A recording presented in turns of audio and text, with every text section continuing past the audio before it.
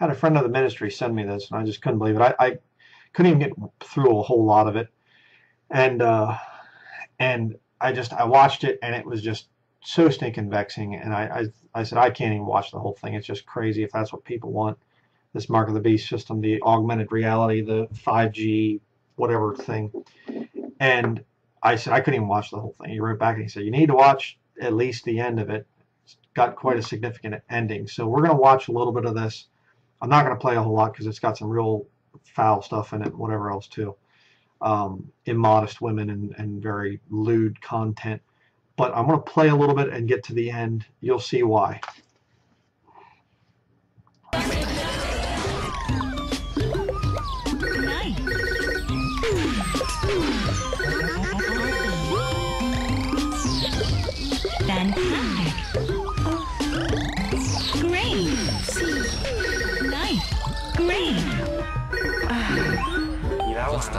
Ah. Okay, so this guy's sitting on a bus, and the augmented reality is everything he can see around him, and it's just computer reality and stuff. It's insanity. I, you know, young people with their video games, it's just boggles my mind how you, you can just go into this altered state of consciousness where you get into this thing and you just, you know, just crazy. But, you know, he goes through here and the guy's talking and whatever else. Then he gets out, and again, the street is all everything, all kinds of stuff and whatever else. And like I said, I'm not going to play it because there's some real filthy stuff in it. But then he goes into the store, into the grocery store here, and this little dog thing is at the end of his shopping cart telling him what products to buy and and everything and uh, you know it goes outside and uh, see about right about here and basically he's outside and this person that's not part of the grid system walks up again you can see the sacred heart Jesus thing right here showing up more on that here in just a minute but this person comes up and basically stabs him in the hand and takes his chip from him. And everything starts to crash and everything else. Um, so, watch this.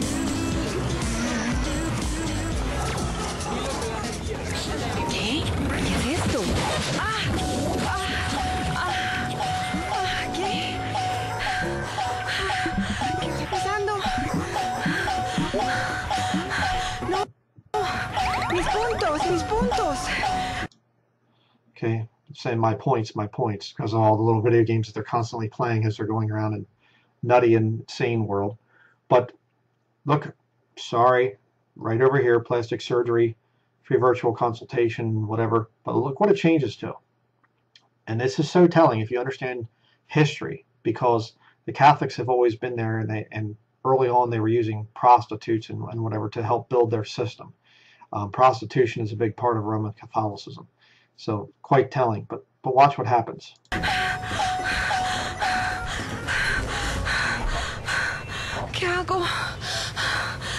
Okay, a new life has begun. Look at this. ¿Qué hago?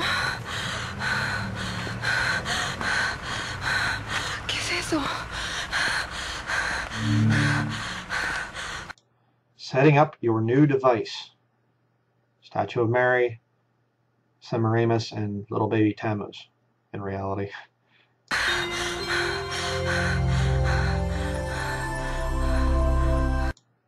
Okay, join Catholicism. This is 2016, by the way. Start again. Join a community. Find your path. Powered by Bully Entertainment. Take the tour. And watch what they have to do to join this thing and get this new chip or whatever, essentially.